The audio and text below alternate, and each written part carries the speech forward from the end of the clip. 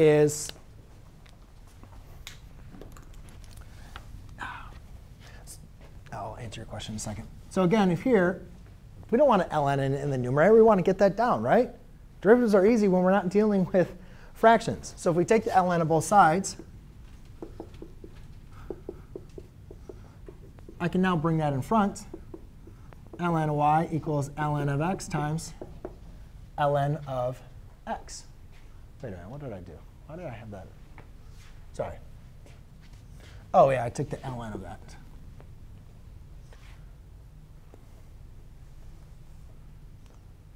Correct?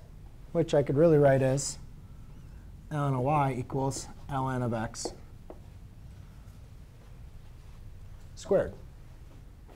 Now, if I want to differentiate with respect to x, d over dx, d over dx. Derivative of ln of y with respect to y is 1 over y dy dx. Derivative of ln, square, ln of x squared, I can apply the chain rule, to ln of x times 1 over x,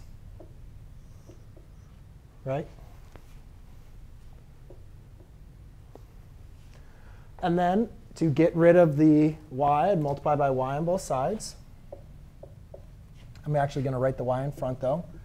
dy dx is equal to my y, which is, let's see, nothing's really going to cancel out here, so well, let's write in front. x to the ln of x. And then we'll have a uh, 2 ln of x all over x. Just remember that those x's do not divide out. That's the ln of x and that's a divided by x, so you can't like divide those out.